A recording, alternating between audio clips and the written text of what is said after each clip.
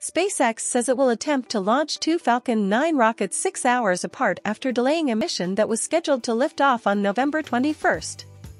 The weather at Cape Canaveral is expected to be poor, with just a 10% chance of favorable conditions.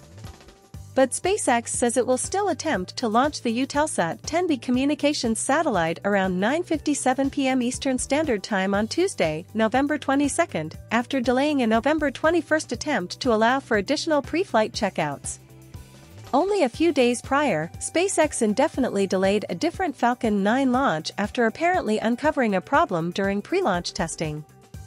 That problem was significant enough for SpaceX's West Coast drone ship to return to port, guaranteeing a multi-day delay.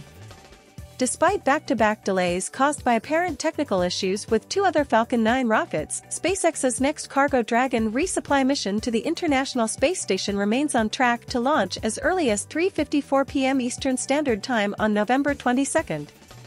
In the days prior, even Dragon's CRS-26 mission didn't escape unscathed.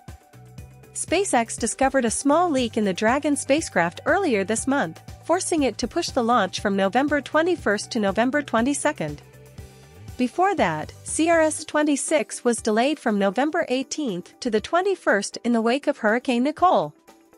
Out of coincidence, the combination of the hurricane, Dragon leak, and unspecified issues with Eutelsat 10B's rocket or payload have placed the launches just over six hours apart. 24 hours out, U.S. space launch Delta 45 predicts just a 10% chance of favorable conditions for CRS-26 and Eutelsat 10B.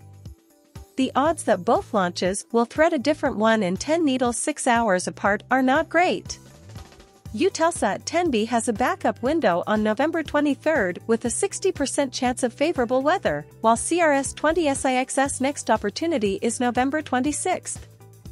CRS-26 will launch several thousand pounds of food, water, supplies, and a third set of upgraded solar arrays to the International Space Station, ISS. The mission will debut a new Falcon 9 booster, B-1076, and the fourth and final reusable Cargo Dragon 2 spacecraft, Capsule C-211. In an unusual first, Eutelsat 10B will be the third SpaceX launch this month to intentionally expend a Falcon booster as Falcon 9B 1049, the oldest in the fleet, flies its 10th and final mission. The well-worn booster's sacrifice will help boost the 5.5-ton Eutelsat 10B communications satellite into a higher transfer orbit than usual, likely shaving weeks off the orbit-raising process and allowing it to enter service sooner. SpaceX will still attempt to recover Falcon 9's payload fairing, nose cone, has more than a thousand kilometers downrange.